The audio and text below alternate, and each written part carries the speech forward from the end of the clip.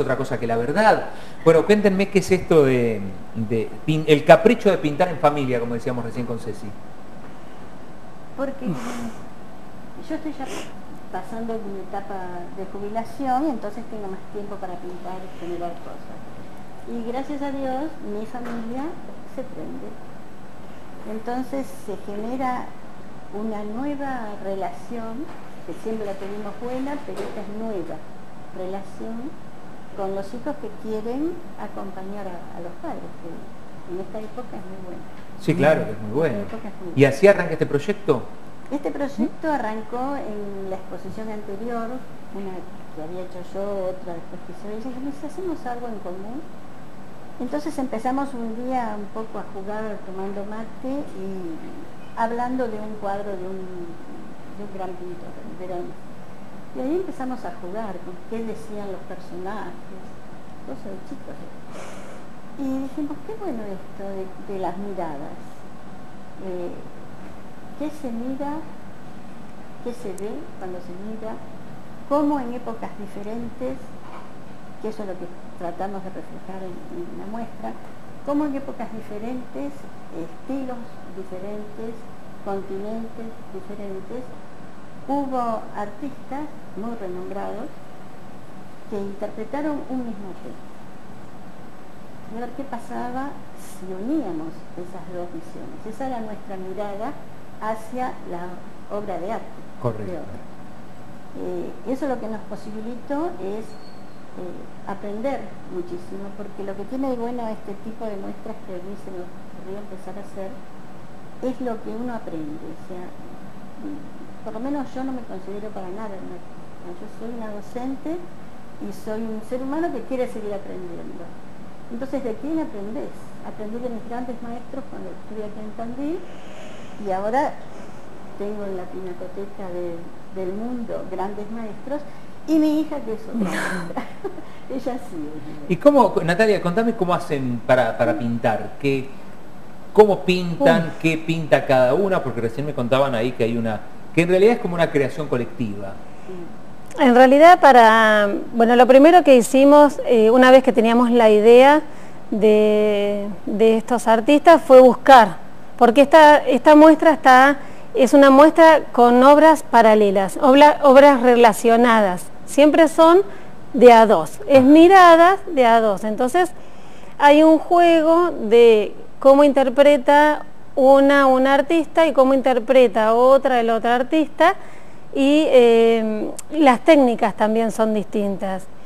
Hay obras pintadas al óleo y otras pintadas al acrílico, épocas distintas, pero la relación que existen entre las dos es una, eh, una pose en común, eh, un gesto en común, una mirada en común en distintos momentos. Entonces cuando se van desarrollando las obras y cuando se fueron desarrollando, cada una pinta a su ritmo.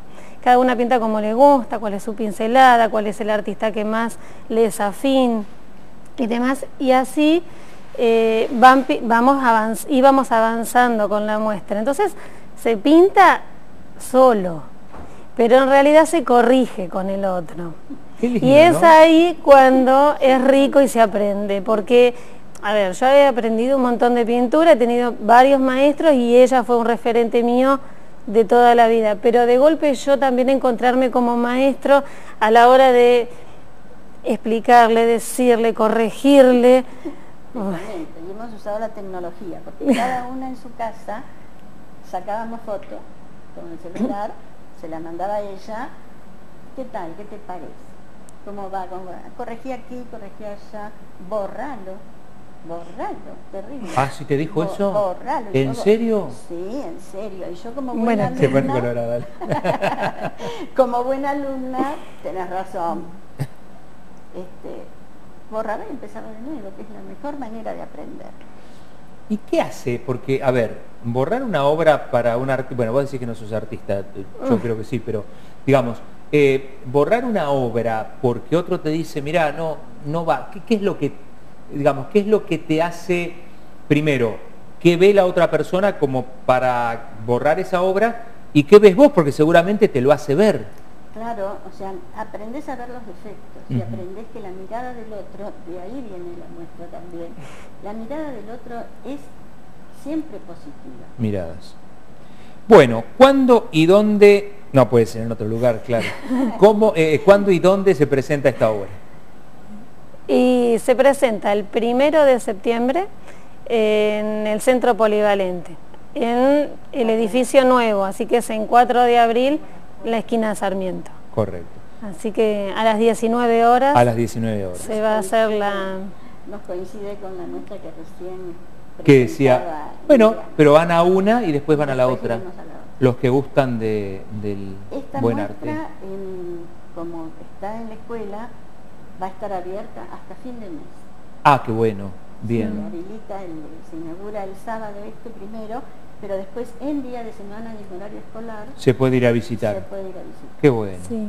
Lo, lo lindo de esta muestra que más allá de que nosotros relacionamos estas obras eh, de distintos momentos históricos, de distintos pictores, a ver, eh, son interpretaciones, son nuevas miradas y reinterpretaciones de algunos artistas muy conocidos, otros no tanto, pero, eh, y son fragmentos, así que se puede ir, conocer el artista, un poco su historia, conocer un poco la historia del cuadro que se está reinterpretando y a su vez eh, los cuadros los relacionamos. Este chiste de decir de cómo se relacionan un personaje y otro y cómo se, apareció la muestra y empezamos a jugar, lo llevamos al escrito.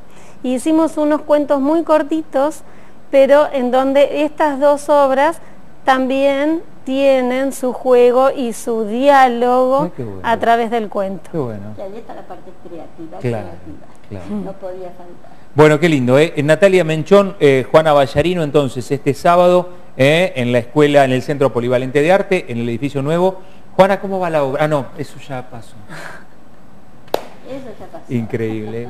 Charlábamos con Juana Vallarino hace tantos años de esto y hoy, cuando vienen los directivos, seguimos hablando de lo mismo. increíble, increíble. Pero bueno, se va a terminar.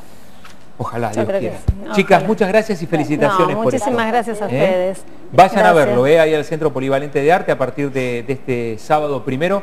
¿Qué dicen por ahí, Cecilia, que hay algún mensaje? Dice, excelente nota, un gran cariño a Juanita, ejemplo de ser humano comprometida con el arte, agradecida del tiempo compartido en Polivalente, dice Claudia Caballero. Oh, ah. Claudita, impresionante. Bueno, muchísimas gracias. Muy amables. ¿eh? este sábado ahí en Polivalente, después va a estar todo un mes, así que pueden ir a la escuela.